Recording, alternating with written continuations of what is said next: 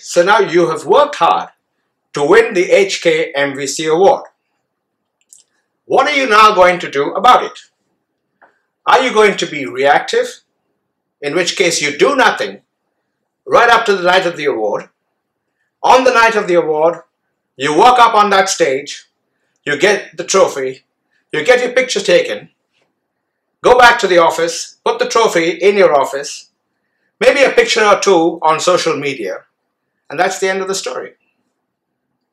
Or are you going to be proactive? In which case you say, how do I write more business? How do I make more money? How do I serve more people before the award? How do I create that sense of awareness? How do I prep my market before the awards? On the night of the award, what am I going there to do? Am I going there just to go up on that stage, get the trophy, get my picture taken and end a story? Or am I going there to meet my prospective customers, to take a sheet of paper with me that I can secure appointments for the following week with them? Am I going to be uh, meeting them to take some pictures with them so I can later on use these photographs as an introduction when I'm calling them for appointments to secure new business? What am I going to do after the awards?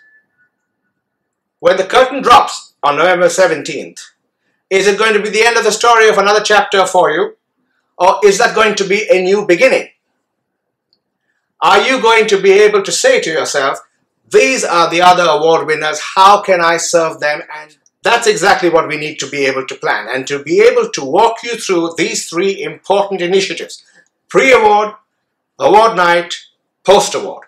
How can you write better business? How can you meet more customers? How can you do better for your markets? We're organizing a luncheon very shortly. So please sign up. Contact your friendly Mediazone executive and uh, book your seat for your lunch. There are going to be limited seats. Don't miss out on this opportunity.